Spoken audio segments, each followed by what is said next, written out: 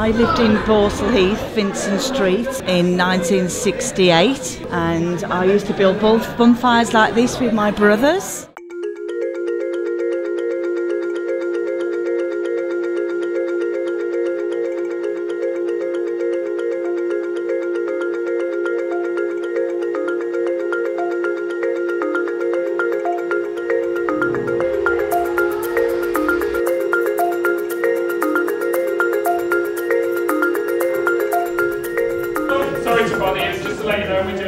Exciting speeches next door.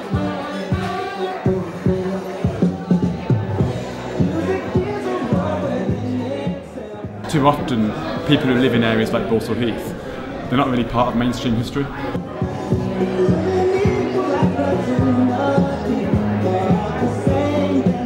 one of the great things about an exhibition like this is that it's taking place here in Heath, you know.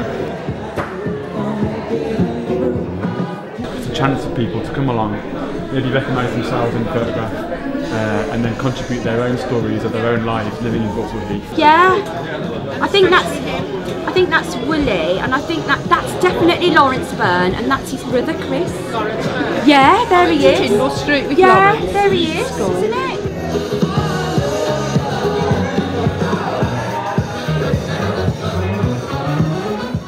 Dad's always been grafting and never had to, you don't think to take a picture of your own store, you know, and to have it to you after 50 years.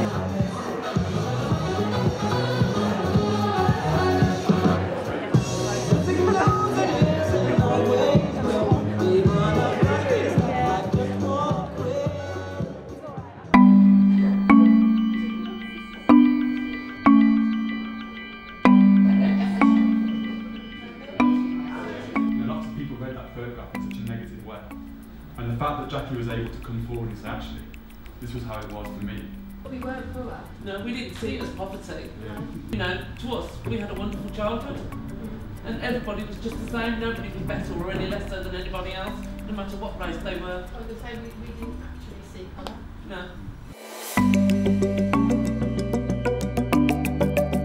When you go round this corner into Cleveland Road, there's an alleyway that goes down the centre, Jakeman Walk. Jakeman Walk, between Cleveland Road and Coxwick West.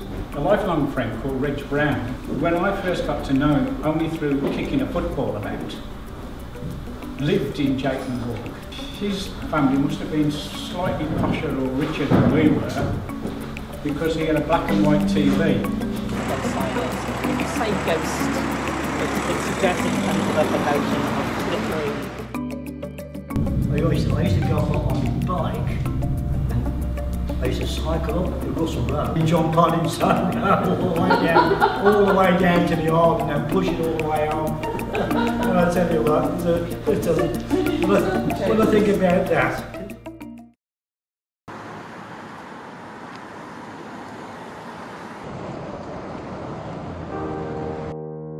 lot of people, I think, we were surprised actually that he felt sad that it was actually going. You know, his his building is going.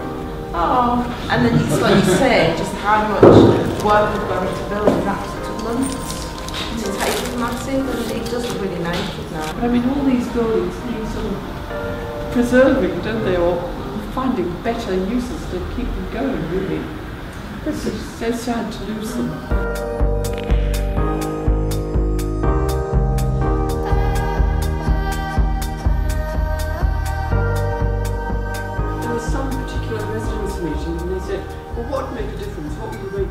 You feel better? And they said, front walls. Right. And the next um, phase was front walls everywhere. And they put front walls in, in front of absolutely everything, including houses